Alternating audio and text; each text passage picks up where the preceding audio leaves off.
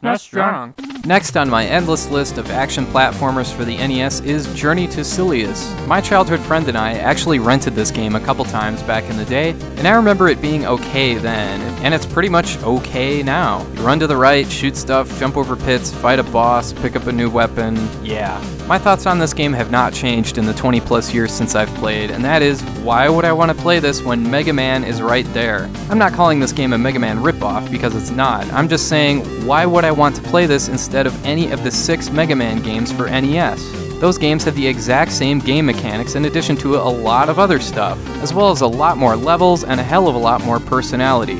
The one area where Journey to Silius matches Mega Man is the difficulty, because holy crap, this game is hard as balls. It should be said though that Journey to Silius was originally developed to be based on the original Terminator movie, but apparently the movie license expired during development, so they scrapped the idea and just made a new game entirely. See, I could dig this game being a Terminator styled game. I would have liked it a lot more as a kid for sure, imagining that you're in that world fighting the machines, but as it is, it's just blah.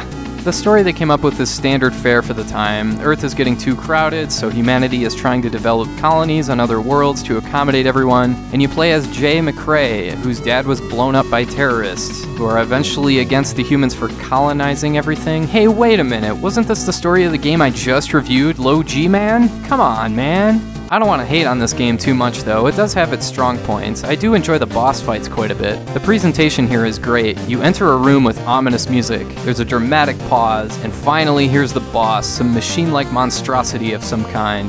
I just really enjoyed the timing here and how the boss was built up as this big deal. And I really enjoyed the music. The entire game has an absolutely badass soundtrack from start to finish. Sunsoft developed this game, and they tend to have memorable and catchy tunes for all their NES games. Journey to Might be the best of them all. I mean, this seriously kicks ass. Just listen.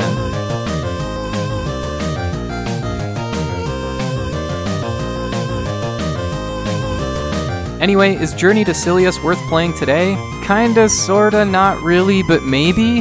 I guess if you really like side scrolling action platformers, but you're burnt out on games like Mega Man and Contra, then give it a shot. Or maybe you just really like 8 bit styled music, because that's my favorite part of this game by far. It's too bad there's only 5 stages because I wanted to hear more. But yeah, Journey to Silius is okay, if not kinda generic. It's good enough, but it's not worth going out of your way to find.